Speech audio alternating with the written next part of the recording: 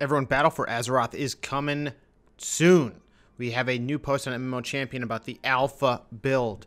This has a ridiculous amount of content. The amount of information farmed from those data miners is incredible. Let's just look at some of this stuff. We have a bee. We have Jaina's mom looking good. We got a bunch of zombies.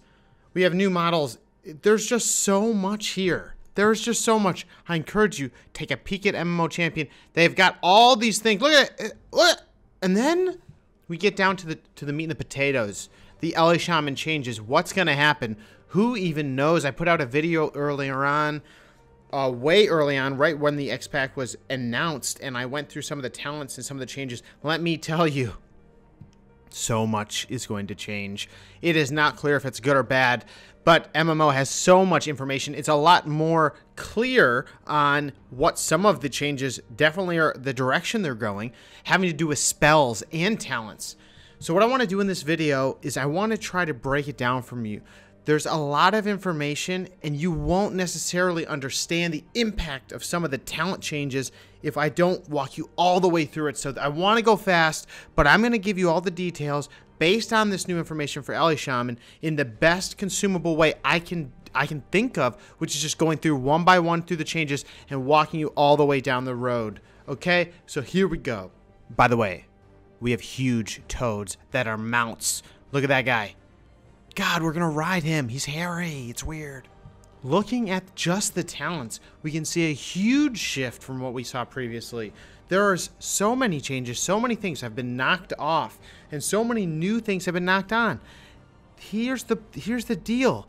Even some things that might look like you understand, we're gonna go through it in detail. For example, I'm just gonna spit, go right to it. Everyone's gonna talk about it. Earth Shield. Earth Shield is not the same Earth Shield that is in the game today. We're going to go through it right now.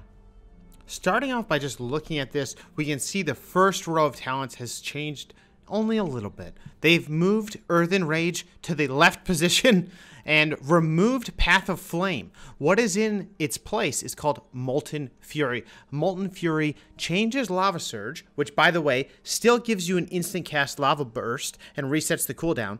But now, with this ability, your the, uh, the Lava Burst itself will generate 50% more Maelstrom. This means every time you get those procs, then your Lava Burst gives you 50% more Maelstrom, meaning gives you 18 now. Totem, Totem Mastery stayed the same. Going to the second row of talents, this has changed seriously. Okay? And you want to know why? Because Gust of Wind is gone. Gust of Wind has been removed from the game. I know. I don't know what's going to happen here. I don't know what's going to happen here. That was our one runaway from the Frost Death Knights. They're coming for you. They've also moved Ancestral Guidance down way lower to the 75 tier. And for Windrush Totem, they just got rid of it. No one is using it anyway. What we have now is Aftershock, which has not changed compared to live. Your spells refund 30% of the Maelstrom spent. They have Elemental Mastery. Looks the same as the current Elemental Mastery, doesn't it? But it's not. It's different. Elemental Mastery still 2 minute cooldown, but uh, what it does is now Lightning Bolt has a 10% chance to cause Earth Shock to not consume any Maelstrom for 5 seconds. Pretty big change. Gives a lava uh, Lightning Bolt some value. Lava Burst has the chance to cause Frost Shock to deal 20% increased damage for 5 seconds.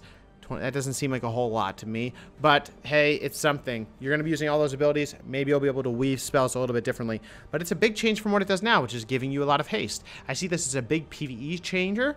I don't know if it's really viable in PvP yet, but we're going to have to find out. Another new talent is Volcanic Rage. Volcanic Rage causes you to, on the target, erupt a volcano under the target's location, causing 250% of spell power, fire damage to all enemies within 8 yards, and apply flame shock to all the targets hit, which is kind of a big deal. Why is that? Because flame shock has changed.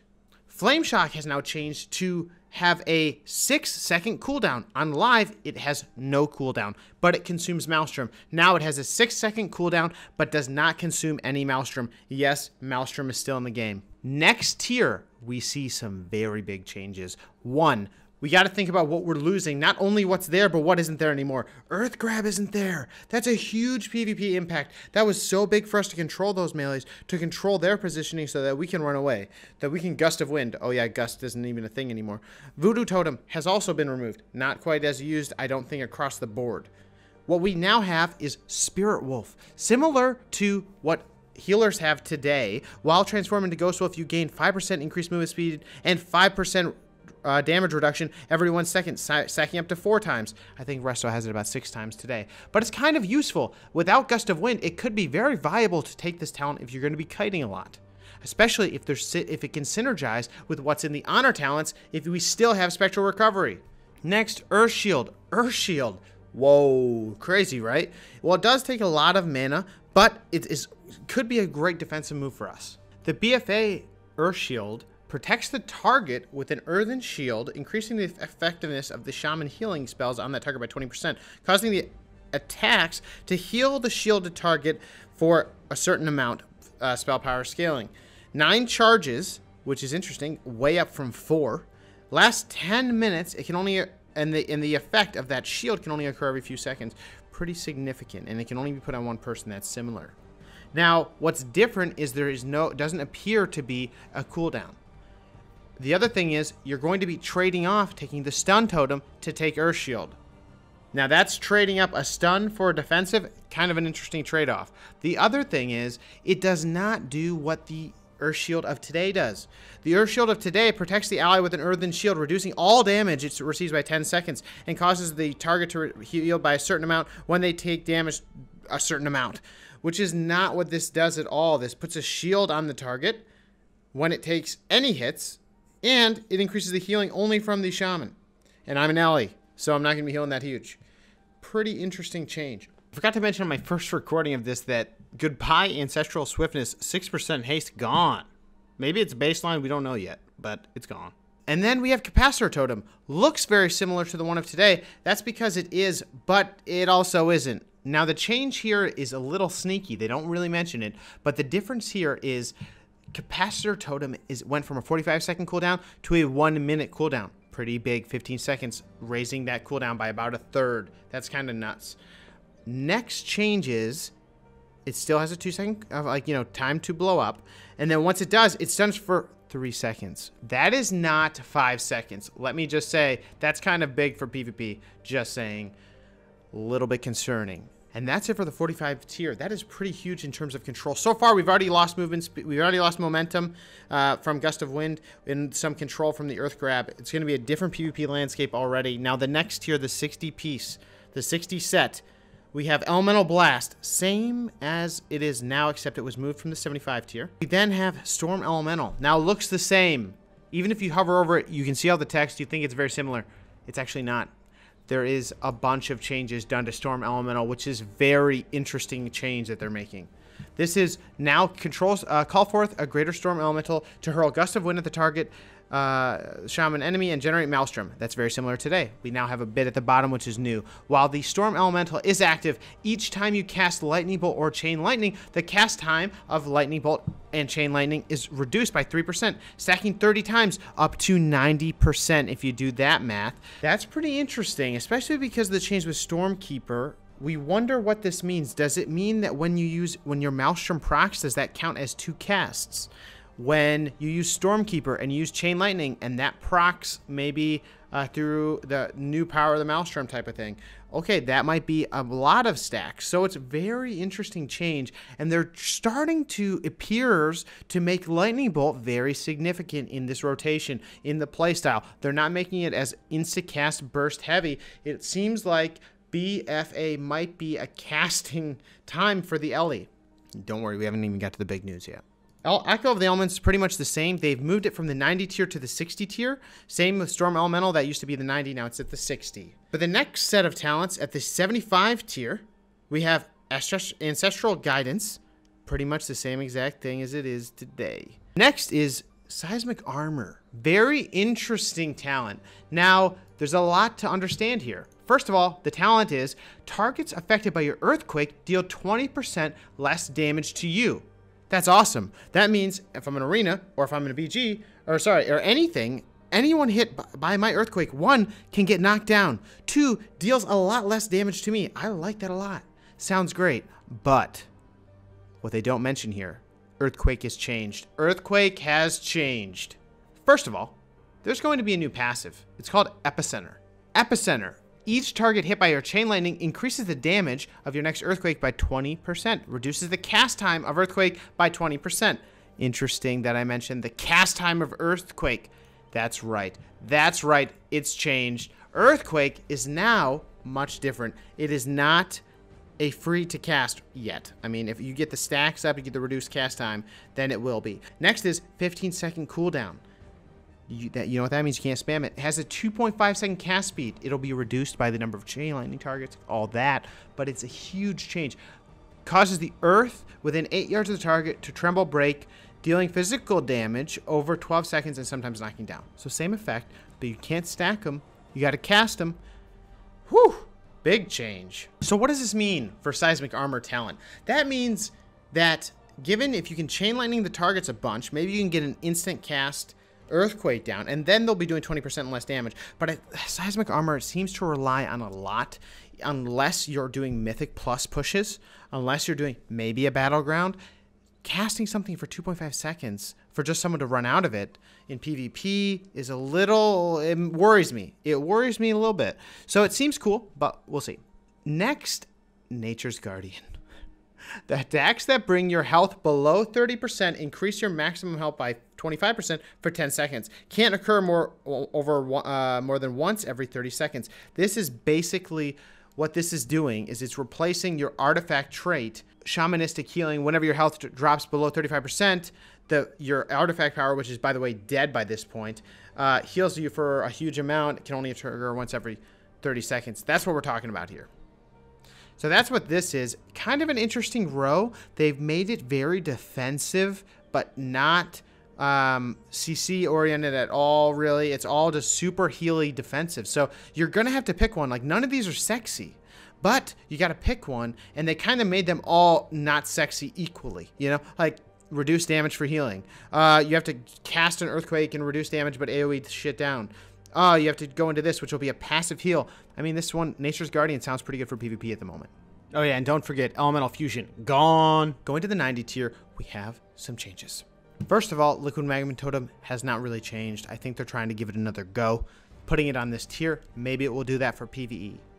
It's still doing the same thing. You drop it, it hits random targets. Next, Primal Elementalist, also staying the same. Now, I do not know the abilities of the Fire, Storm, Earth Elemental. Maybe those have changed. They are not in the notes that I could find.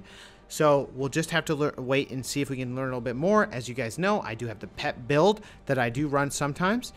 Using those elemental pet abilities definitely can give you an edge. And this is, I'm a little bit curious what they're thinking about changing with those. Last but not least, high voltage. Lightning bolt can now cause a second elemental overload. Yes, it is pretty much like power of the Maelstrom, except now it's a passive, and now it's just all the time elemental uh, can now cause a second elemental overload. Now the percentages here, is, does it mean can now? What does that mean in terms of percentage hit? It's a little bit unclear but it's interesting. This is what they've ported the artifact trait that does a ton of damage with the Stormkeeper to in the new BFA talent trees. And for the last tier, let's all take a moment, please, together and look at this last row and understand what's missing. Everybody we don't know what's exactly going to happen for BFA, okay? We don't know what the honor talents look like. They all look they haven't updated those yet. They, they were not data mined yet. Once they are, I will have a video. But let's just all sit here for just a moment because we have lost something important to us, okay? We've lost Ice Fury. Ice Fury's gone. It's gone, okay? It's just gone. It's not on the last tier. It's just gone.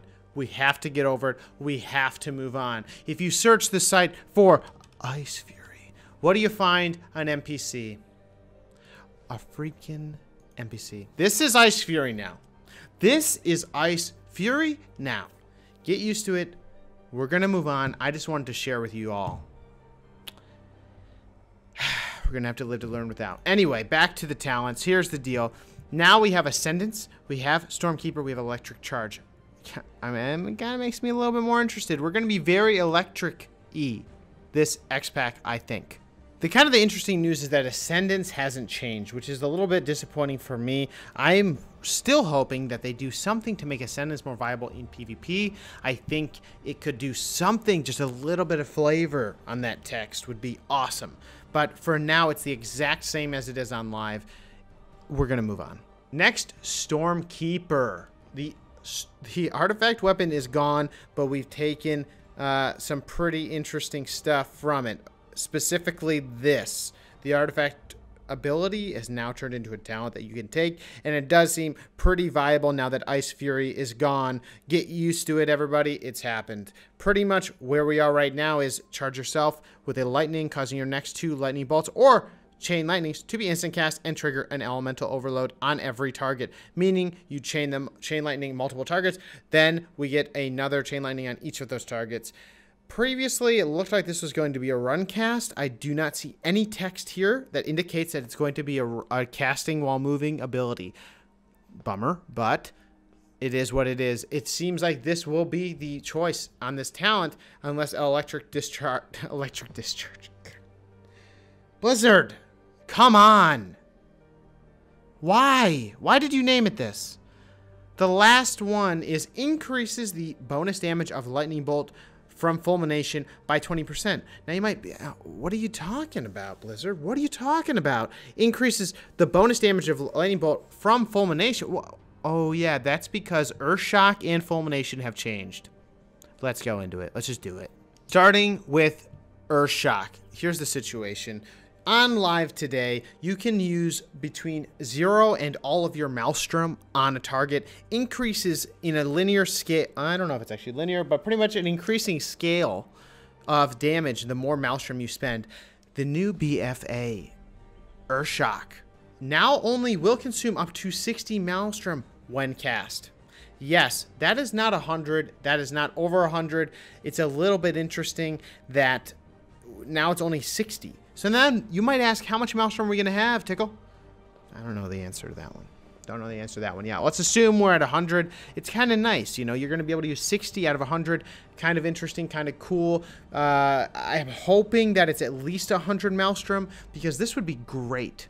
This would be great. Earthshock's maximum damage is 60. That means we're going to be using it a lot more often. It seems to me like there's going to be a lot more, uh, you know, using of different schools of magic a lot more often, not just waiting for that big, big damage actual damage itself is pretty much the descriptive force is pretty uh, descriptive words is pretty much the exact same. Increasing damage up to so much additional damage based on the maelstrom spent. The other change here is that it is no longer zero seconds it's now six seconds. You cannot spam it. You never really do so i'm not really sure what they're doing. Pretty much they put a cooldown on pretty much all the shocks now except for frost shock. Now let's go to fulmination. It gets a little bit confusing with fulmination because there's actually two different passives right now that have been mined out. One is damage from your lightning bolt lava burst generates 15% or 15 maelstrom, and your chain lightning generates 6 maelstrom. When cast, Earth Shock will consume all of your available maelstrom, converting into additional damage, meaning that you're just going to do more damage when you use that Earth Shock. Now, another version of Fulmination was pulled out, which says when you Earth Shock a target every 25 Maelstrom you have, up to 75, will cause the target to take an additional 100 damage from Lightning Bolt. What does this mean, Blizzard? Well, what it basically means is if you use 75 Maelstrom in an Earth Shock and you and you don't even have that talent uh, that we were just talking about, discharge, taken, you will cause the target to take an additional 300% damage from Lightning Bolt. That's what it means. That's what it means. Now, if you take electric discharge, what this means is it's going to be an additional 120% damage for every 25 up to 75, meaning you can get up to plus 360 damage on the next lightning bolt. Now it doesn't even, it's not even clear how long this buff would last, how long it, how long that would be up for if it's consumed once you use one lightning bolt or more, but it seems like lightning bolt's going to be pretty critical in this next X pack. And that covers the P And that's about it for the talents for an elemental shaman in Battle for Azeroth as it stands today. Now, there are so many changes with Ele and shaman in general. There's just so many. I can't cover all the spells and everything else in this video. I will be making another video which goes through individual spells, walking you through all the changes. What now? Why do we need that? We just went over all the talents. Well, as you all know now, there are so many changes to individual skills that we need another video to go through them. Even to the heals, even to little tiny things, but hey, you got to know about it. So I'm to leave you with two more nuggets of information. Let me know in the comments below what you think of these juicy pieces. One is based on the notes from Blizzard, Bloodlust will be scaling off of your spell power. Yeah, yeah, I said it.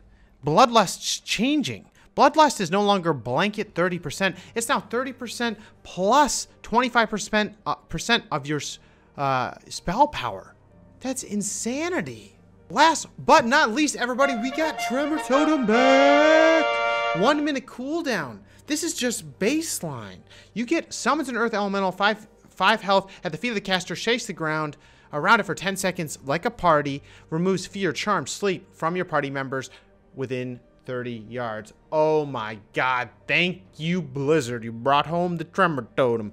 Well, everybody, that's, I mean, I, there's no bigger bombshell than Tremor's home. You got the Tremors again, boys. And with that, we've covered so much, but there is so much more. I'm going to give all the links down in the description if you want to know now. There are so many changes. Even Earth Elemental Focus is gone little bit, little change, crazy things have changed. I mean, we are going to go through it all in another video. I'm going to go through each individual ability. We're going to just walk right through it. I want to let you guys know uh, the no changes to mastery. There's so much. There is so much. And don't forget, we there's guys with freaking mushroom heads. Like, what is this guy doing? And why does he have a loincloth on?